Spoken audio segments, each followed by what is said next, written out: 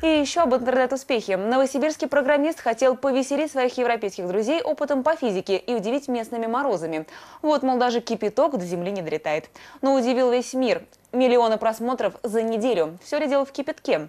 Александр Малышев разбирался. Новосибирске э, минус 41. Все гениальное просто, а все новое хорошо забытое старое. Но даже научный, как говорится, баян может стать интернет-хитом. Житель Новосибирска Дмитрий Клеменский стал звездой Рунета, а затем и интернета, выплеснув с балкона кастрюль с кипятком и продемонстрировав реакцию жидкости на 40-градусный мороз. Аудитория откликнулась двумя миллионами просмотров. И это за одну неделю. Рекорд. Нет, не ждал. То есть я хотел показать десятку друзей на Фейсбуке не более того. Ну, народ подхватил, она пошла, все стали делиться. А вот человек, который в том же городе сделал похожий ролик днем ранее. Или американцы, которые ютубят такое каждую зиму. Так в чем же секрет? Неужели в голливудских претензиях новосибирца, снявшего эксперимент с двух мобильников и сделав англоязычную версию?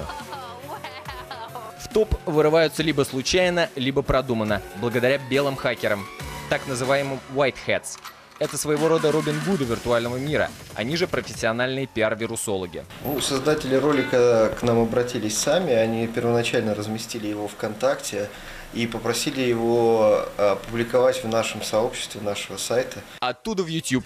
Результаты, конечно, уступают корейскому рэперу Psy, но для Рунета это безусловный успех. Может покатиться, превратиться в снежный ком.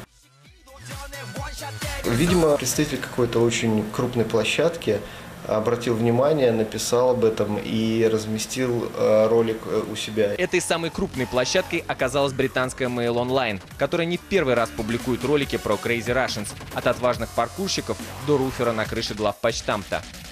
Превращаясь в мемы, такие клипы обрастают легендами и спорами, фейк это или true. Любитель занимательной физики Игорь Сокальский повторил нам опыт новосибирца у себя дома за чашкой кофе. В этом нет никакого трюка, в этом нет никакого фокуса. Это самый обычный, самый простой физический опыт, который, правда, выглядит очень эффектно. Это не пар, то есть газообразная вода, а именно туман, то есть мельчайшие капли жидкости. Вот если мы сейчас температуру воздуха сделаем а, много ниже, доведем ее до минус 40 градусов, вот этот вот пар эти капельки воды, из которых пар состоит, э, э, начнут превращаться в снежинки, маленькие кристаллики льда. И тогда мы увидим примерно то, что видели на ролике э, в Ютубе, который мы обсуждаем. А это муха, которая на 53 секунде detected. И это при минус 41 по Цельсию. Любят юзеры раздувать из нее слона. Одни комментеры заявили, что это русская муха и мороз ей нипочем, другие, что это комар в фуфайке. На самом деле, в историю случайно вошла пролетавшая мимо птица. Александр Малышев, Борис Брыкин, Вести.